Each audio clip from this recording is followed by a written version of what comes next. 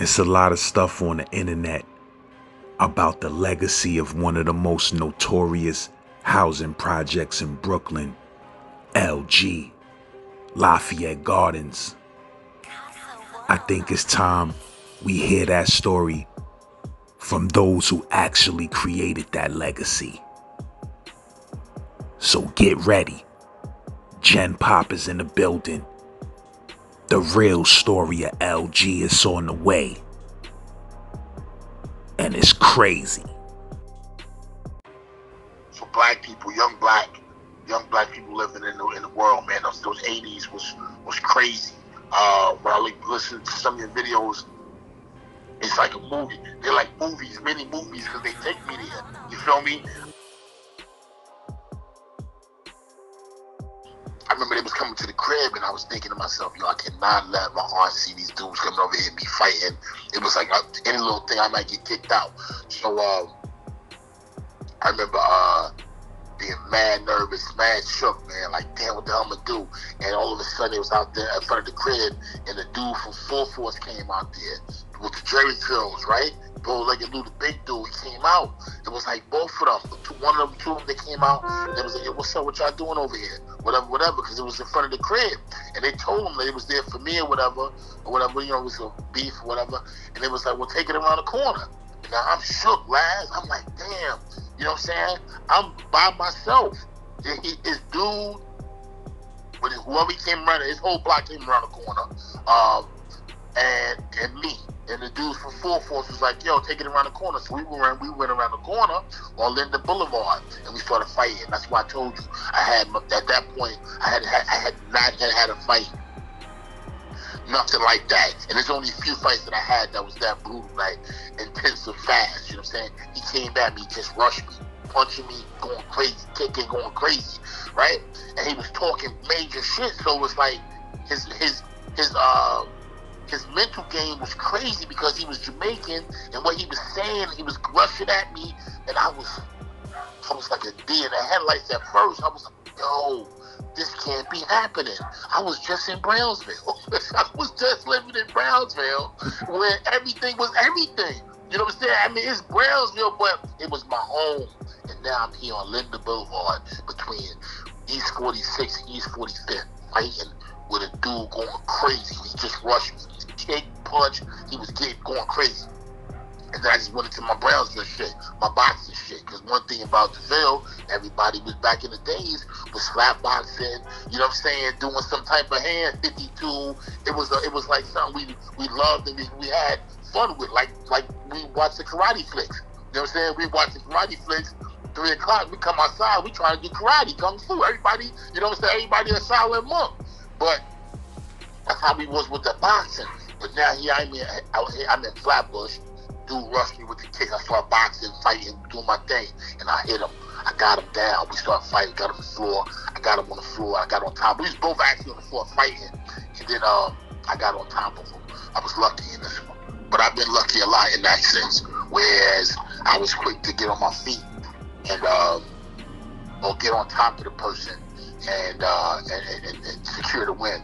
You know what I'm saying? Because uh, when we you know, uh, that happened a few times, but we was on the floor, got on top of him, and um, started giving him the work. I gave him the business, man. I started pounding his face through the ground, and uh, as I was pounding him, I was I was thinking to myself like, this is this is this is a different type of fighting. This is this is uh this is this is gonna lead to something too. You feel me? Like this ain't gonna end here. I was I just had to go go in because then now everybody looking at me. Everybody, the crowd around me looking at me. I get off. I'm pounding, pounding, pounding. They get me off.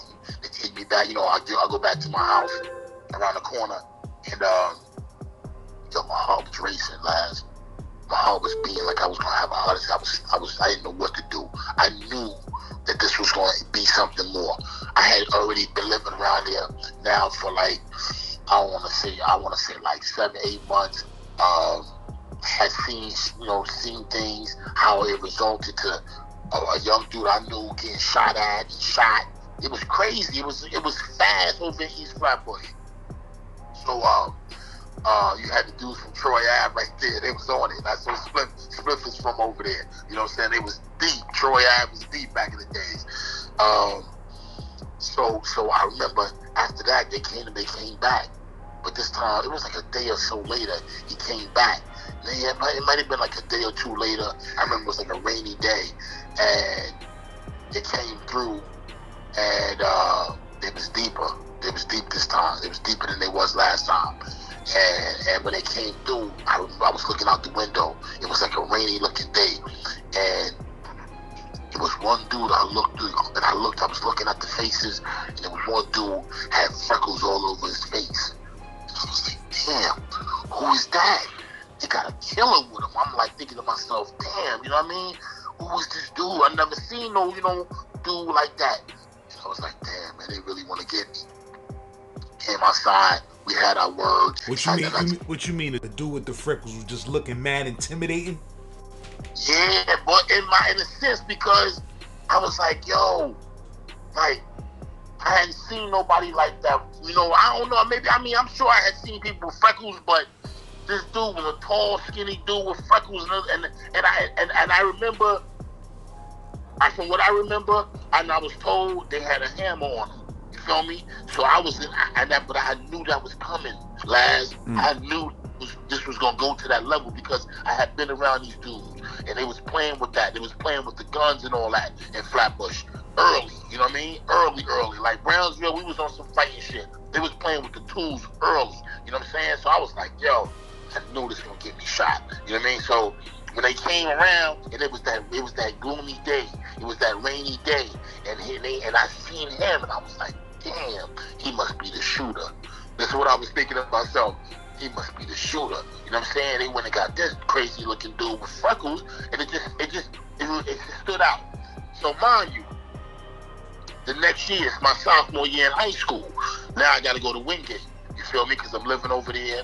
It was like, yo, I'm gonna go to Boys and Girls. I ain't know where I was going. So I ain't go back to Loughlin. I was done at Loughlin for everything, for for, for my my behavior, um, tuition, everything. I was all downhill with that. So uh, I was like, damn, man. Uh, you know, I, I'm not sure what school I was gonna go to. So I wound up going to Wingate.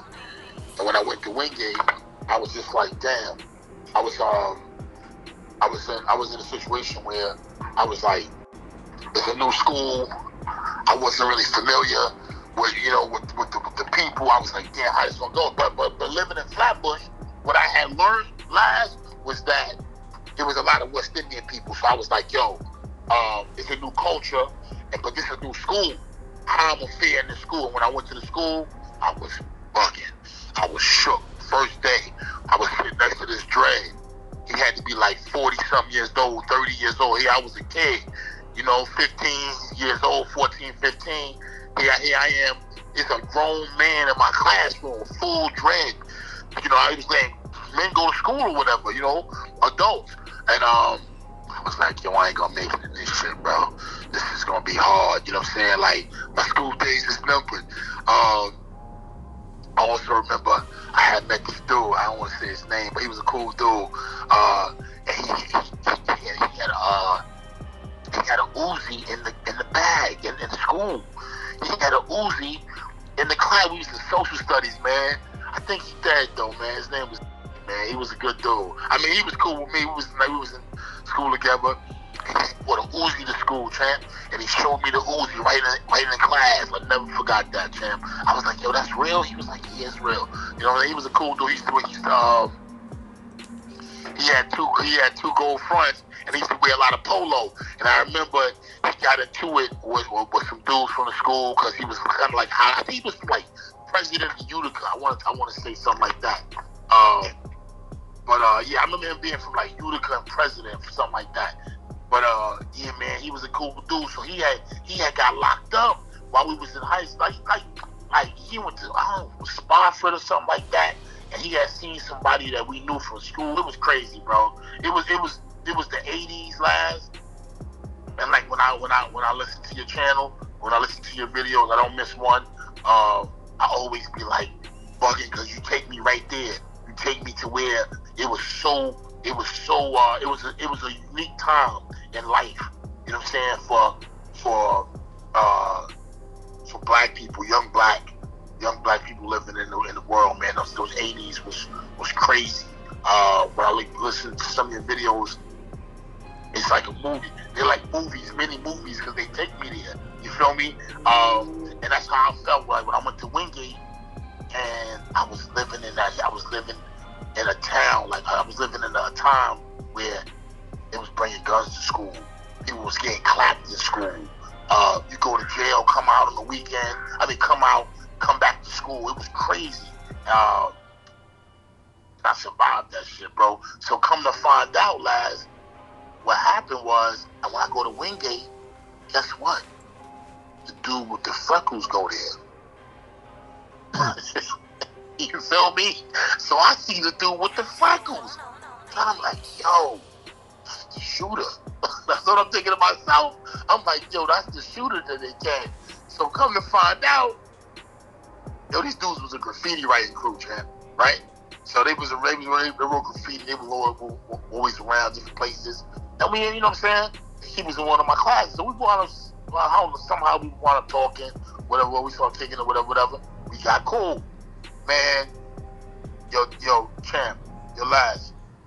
I spoke to him yesterday, champ, for like an hour, man. It's, it's like it's amazing how life will take you someplace. You know what I mean? You never know. Like who would have ever thought? We, I'm 50 years old. I think he like 52. Who you talking about? You know? The kid with the freckles? Yes, brother. the kid with what, the freckles. How you how you found him? Yo, bro, it was crazy. Now listen to this. So high school, we taking it. We take now. We was always we was we got cool. We got cool in high school. We can we got cool. Like we start bugging out. We start hanging out, going on missions, uh, going out of town. Uh, we went to Virginia together. I had family in Virginia. He had family in Virginia. We came down. We went down to Virginia together. We was trying to survive, champ. We was doing whatever we could. You know what I mean? Uh, he had a he had a uh, stepbrother that was, uh, you know, basically he was hustling, and you know he, he basically looked, you know, he put us in the game. He put us in the game, and we was doing what we was doing, and we just started riding out from high school he went to the he went to I think it was like his mom's put him in the military, and uh, that's when I had to, started boxing. That's how like I was like 16, 17. I started boxing. His mom was like, "Yo, you know what I'm saying? Y'all y'all going y'all getting arrested. Y'all doing this and third. His mom's made join the military, and then I got into the boxing, man, and um, we always kept in contact. And then we wound up becoming like roommates. Uh, I had got an apartment but we had we man, it was so much shit, bro. I ain't gonna lie to you. We it was so much drama. But, but man, but he was always my man. But he always had like his people and me might not click. You feel me? So it was always something like that. Like I'm like, damn, me and, and that's my man. And I, and I went out for I went out on a limb for him a few times. Like he had caught a case in D.C. He was facing um he was facing life, man. And I was up at the time, and I got him a lawyer, sixty thousand dollars, man. Got him a lawyer. He took it to trial. He been, he won. You know what I'm saying? He beat the case.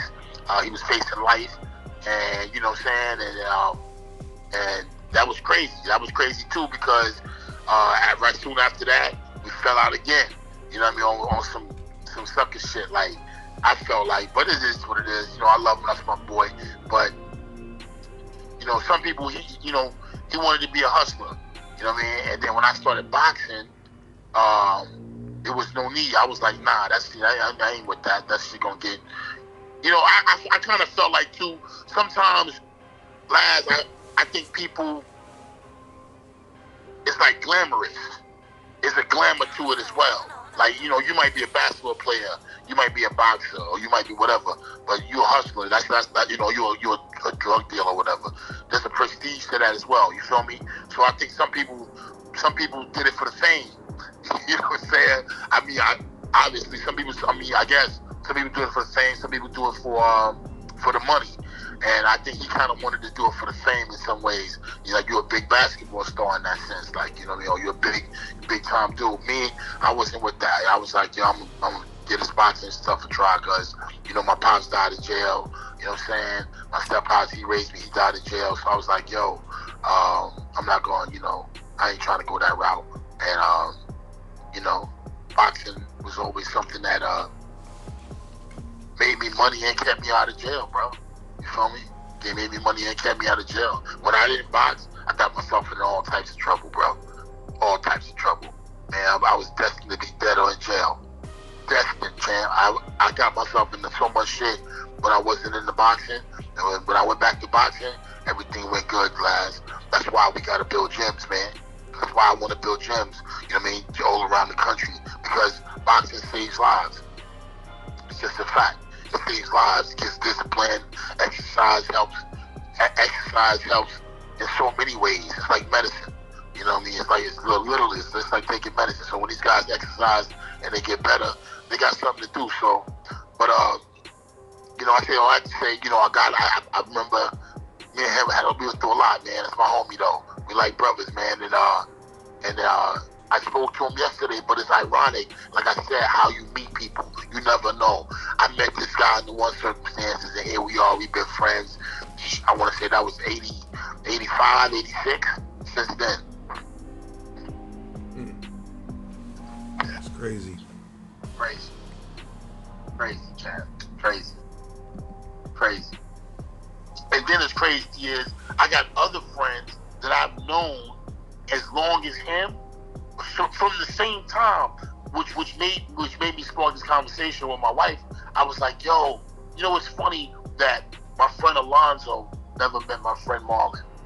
It was just like that simple. I was like, damn, you know, they never met, and I've been through back and forth equal equal amount of of drama, you name it, ups and downs, highs and lows with both of them, and they never met.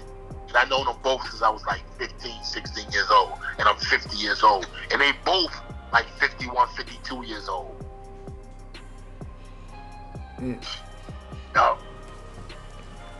That's the dude I want you to interview for your channel, though. This dude named Alonzo. Hmm. This mad time upstate. Mad back and forth. Definitely tell son to holla at me. We get it in. Real jam. And yo, it was crazy because like when I was in Wingate, like going to Wingate, when I first went to Wingate, I was just bugging like this is crazy. How can I be here with these adults and all these players? This ain't Bishop Loughlin. This ain't this ain't this ain't you know what I'm saying? This ain't Bishop Loughlin, champ. This is this is Wingate. Wingate was bad, y'all. I'm gonna keep it real with you. I don't care what nobody tell y'all. Wingate was in no joke. You know what I mean? Wingate was like, yo, listen to me. When you go into Wingate in the 80s, trust me, it was like you could die any day. Real talk. Now it's not funny, but I heard I heard about Wingate and I heard that shit was out of control. Yo, champ, you could die any day going to school. Real talk. In the 80s, in the early 80s, mid 80s, Wingate was like, yo, but it was crazy because it was like, yo, I had to. I had to tell myself I gotta go back. I gotta go to school, right? Like when you can't stay home, I told you I had that strict aunt. You know what I'm saying? She was like, you gotta go, you gotta get out the house, go to school. You gotta go to school. Because I wasn't even trying to go to school. Like I remember, like school started in September. I was like, yo, there's no way I'm going to boys and girls. You know what I'm saying? There's no way I'm getting up in the morning from East Flatbush and going away to Boys and Girls. And that's where they had me going, Boys and Girls, because I was living in the towers. Then it was like, yo, uh, Jeff. It was like, yo, you gonna, you know, they gonna put me in Jeff. How the hell I'm gonna get up every morning and go to Jeff? I was like, nah, we gonna use this address. My mom's like, we gonna use this address and we gonna put you in um the, local school here. So I was like, what's better, Erasmus or a wing or um a Wingate? You know, and, and had had had had lived, lived there in, in East Flatbush now like a year or so, or nine months, whatever it was, uh, eight to nine months, I kind of like, you know, I was feeling it out. I was, you know, getting to meet people. I knew mad people, whatever, whatever. And I was like trying to figure out what school I was going to. So I wanted to pick a Wingate. Went up there and was like, damn. Got in there and was like, yo, this is different, yo. This ain't, this ain't, this ain't Risen Christ Lutheran School. This ain't, uh, this ain't Bishop Loughlin. This is it. So um, I, you know, I jumped in, was meeting people, whatever, whatever. I told you I seen my dude who I thought was the shooter who came to my crib. I was like, yo, that's him. He was there. Uh, the dude that I had to fight with, he was there, and we never got cool. You got what I'm saying? So we never, it was never, we was never really cool again. And not even cool again. It was on basically. Like they came to the crib, You know what I'm saying? Nothing happened. Um, uh, you know what I mean? We whatever, whatever words was said. I think I think my cousin Perry was there. Vaguely remember my cousin Perry. He lived next door. He was like, "Yo, um, I think he was there, and I think he might have, you know, whatever, whatever." You know what I'm saying? I don't, I don't, I can't really remember, but I do remember them coming to the block again, and some people on the block was like, "But whatever," and they kind of got pushed away. And um, but I was never really cool with them. I knew like 45th wasn't like where I really wanted to be at. So he was in the school. Uh, his whole crew. Now, now, mind you, they, they they had been writing graffiti together for years. So they had they was in the school. It was, but it was crazy because when I went to the school, when I got when I got to Wingate, it was a crew of people from Brownsville.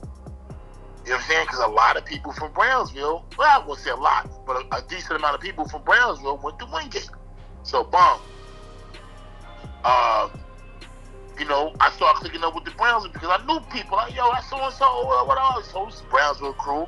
I started like linking in with the Brownsville crew. You know, slowly but surely.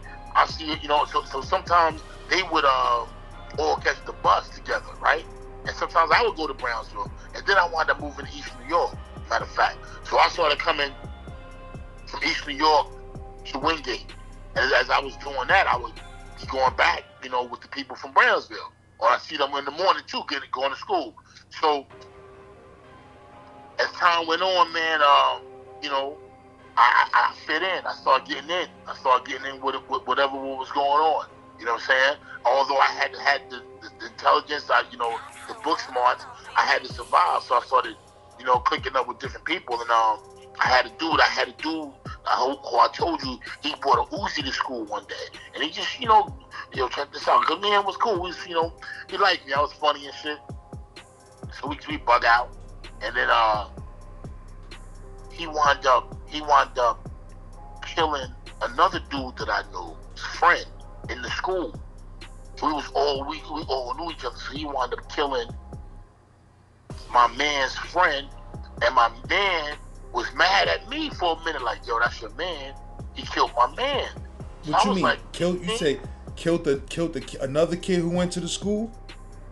Nah, and it, they, they they lived in the same neighborhood. They was all from like from like Utica Ave, all of them. It was deep. Utica Avenue had a lot of huge amount of people that went to Wingate. Utica Ave was, you know, it was deep, and they was all in the same neighborhood, but he wound up killing somebody in their neighborhood, like two blocks apart. Like I'm talking like two, three blocks apart. One street, one street versus another street. That's just that's super. That's that's and he, simple. And he got knocked off and went to jail for that, or he was still in the school on the run or whatever. He was still free from it. Like he didn't get, you know what I'm saying? He didn't get caught for it or whatever. He didn't get, I don't know, nobody told. But the streets was like, yo, he killed, he killed my man. Or you know, they knew what it was. Like It happened like it happened. And he was still coming to school. Nah, he wasn't really coming to school, but I seen him. I would see him like, you know what I mean? I was everywhere, and I would walk up Utica Ave. I go, you know what I'm saying? And I asked about him because he was cool. It was my boy, you know what I'm saying? I think he was wearing a lot of polo. Or was he boosting? I'm trying to think. Was he boosting? I think, I think, I think, I think he was boosting something too. I think he was boosting, but he was selling drugs too, son. He was because he had he had some bread. He would come through with gold teeth uh, gold rings, two, uh, four finger, three finger. So I'd be like, yo, you getting money. He was like, you know, he's laughing and shit. So, uh, he was a real serious kid, man. Thinking back, we was kids, man. Not even looking back, we was kids, man. And here we was, like, I guess thinking we was adults or whatever the fuck. You know what I mean? We was just basically just kids to be free. You know what I mean? We was just out there. He was he uh he wound up killing the dude in their neighborhood or a couple streets over, and the dude or other man, my other man, I really want to. He died too. Or rest in peace. He died recently. I heard a couple years ago. He uh, he was mad at me like, yo, your man killed my man. I'm like, I don't got nothing to do with that. Like, you, you want me to not like the dude? Like, you know what I'm saying? Like, like not not be cool with the dude. I mean, you know, I ain't I ain't know him like that. You know what I'm saying? So it was weird, but uh it was crazy how we was just young kids, man, cutting. People was getting stabbed, um, sliced, shot, killed, go to jail, and this is all in a small neighborhood. Brownsville, East New York, um, Flatbush, uh, Bush. We was just, it was just all right there, and we was all different high schools. We used to go to different high schools last. We used to go to other like we'd go up to. Man, it was crazy. it was crazy, son. We was really, we was really living in a time. But I'm sure, you know, the 50s had their gangs. You know, white people had their gangs, Spanish gangs. Definitely. Ain't nothing new under the sun. All this shit been going down. Facts, facts. You know, I guess even bringing guns to school, huh?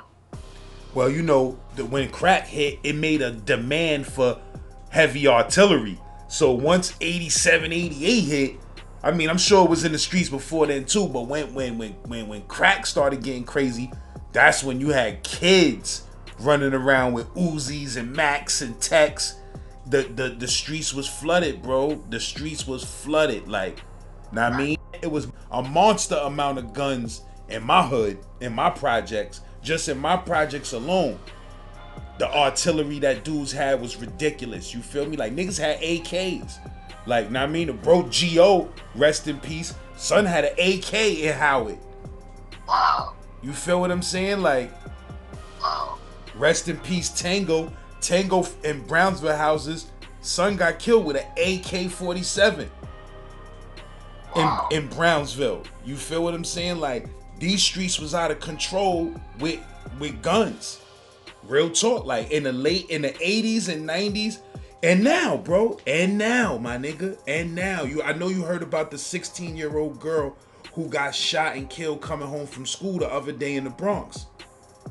Like, I literally drove past the crime scene, my nigga. I said, damn, I saw the yellow tape. I said, damn, it looked like somebody got shot. And that shit just came right on the news in, in my car.